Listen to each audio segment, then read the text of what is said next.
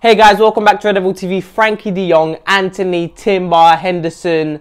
Guys, alright, let's just talk about what's the main main focus at the moment. And it's getting this deal done with Frenkie de Jong, okay, at Manchester United. And reports have come out within the last couple of days that Frenkie de Jong does not want to leave Barcelona. And look, as soon as I heard that, I thought, let him stay. He wants Champions League football. Fabrizio Romano came out and he said he wants Champions League football. He doesn't want to leave Barcelona. Soon as I heard that, I thought, you know what, let him be. There's no point signing a player who doesn't want to be at the club. We're not going to have Euro, um, Champions League football. We might not even have Europa League football if we bottle a win against Crystal Palace. And you think Frenkie de will, will want to come to Manchester United? Listen, no point signing a player who doesn't want to be there. Look at the other options. And this is the thing, we're also linked to, we're also linked to Timber, um, Antony. For me, you know, look, Ajax want, was it 35 million for Timber. And, and I think to myself, why are we just aiming for Dutch league players? Like for me, there's no point in doing this. We've seen players like Memphis Depay. We've seen, I mean, look at Van der Beek. He's come into Manchester United. Under Ole, he wasn't played. Under Ralf, he wasn't played because he's obviously gone on loan. There's no point signing a player from the Dutch league who might not work out. And it's not even that. It's not even just that. It's not even that, that they might not work out. Forget the history of it.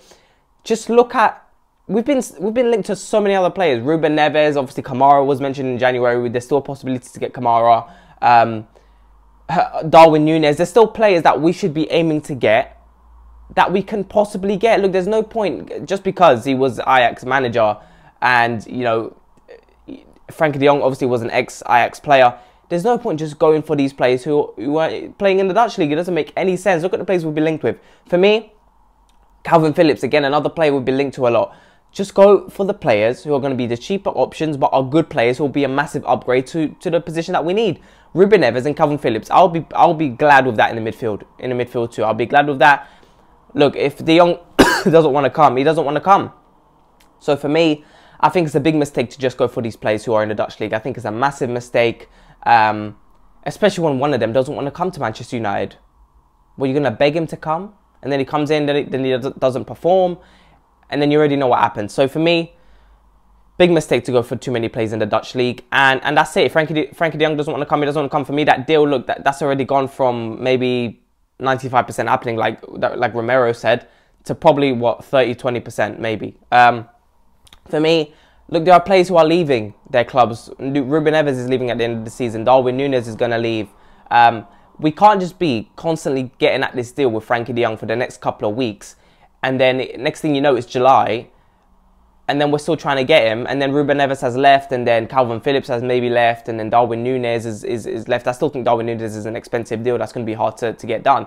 But we, we need players, as much players as we can, and we need to sell as many players as we can. And speaking of selling players, Henderson, apparently, you know, Newcastle are um, looking to sign him for 40 million. Um, so that's a good one. I think Henderson was going to go. If it wasn't in, in January, it was going to be in the summer. He's barely played. What he played in the FA Cup, I think it was, or was it the Carabao Cup? Can't even remember now. This is the thing. Um, so for me, Henderson is going to go. I think Bailly is going to go. I think Lingard's obviously going to go. Uh, Pogba is, is, has apparently has come out reports again today saying that Pogba has made his decision that he will leave. He's been um, his re- his representatives have had uh, meetings with Juventus. And look, if he goes back to Juventus, I, th- I think again, I think the Italian league is a good league for him. Uh, Juve have had a poor season.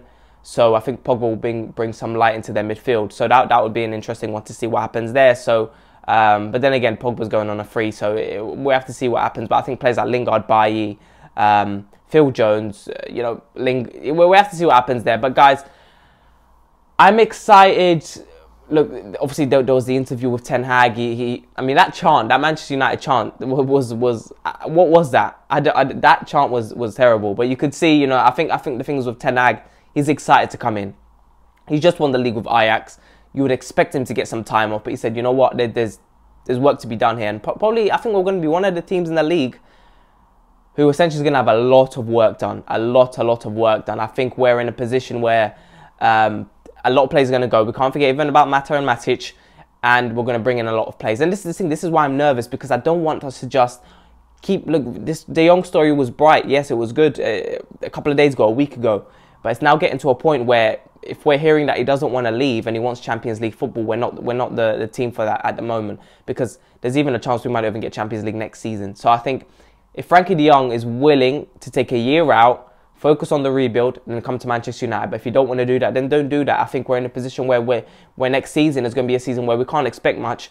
Ronaldo's talking about winning leagues and um, and and winning trophies next season in his interview, but if I'm Ronaldo, I'm probably probably focusing more on the World Cup, like I mentioned in my previous video. So um, we need to see what happens. But there was even talks of, of players starting fights on, on the training ground. I think there's a this season there's been there's been a mess at Manchester United. There's been a big mess, and even that that leak about Lingard telling Scholes that dressing rooms are, is a joke. So for me, I think right now it's it's focusing on getting players who want to play for the club. I'm going to put their heart on their sleeve, and that's it. And and and you know what? It's, it's, it's terrible that we even have to go that low. We have to go that low that it's appreciated now for you to put in some effort. Like it's a shambles. It's an absolute shambles, and this is why some players will shine under Ten Hag because some of them do want to play for this club. And you know, this is the way football has gone now. Football is too. I mean, look at the transfer market now. I mean, look how much it costs to buy players. Declan Rice is probably going to go for 100 mil this summer. Again, should we go for Declan Rice as another player we're linked to? I don't know if he's going to want to come. I think he wants Champions League football. And since he's going to cost a lot of money, he's probably going to go to a Champions League club. And that's it. So, guys, let's see what happens. Please make sure to like and subscribe. Let me know what you think about this, uh, you know, these players who were linked to. I mean, Antony, look, Antony, Tim are the great players. I think Tim, look, I think we need a centre back anyway. We need a striker. Well, look, the things with, with Antony, he will play. You can, you can play him anywhere in the front three. I think. I think he will do very well. But is he the right balance with Sancho? Um, I'm not so sure. Um, so we need to see what happens. But Guys, let me know what you think. Please make sure to like and subscribe, and I'll talk to you guys later.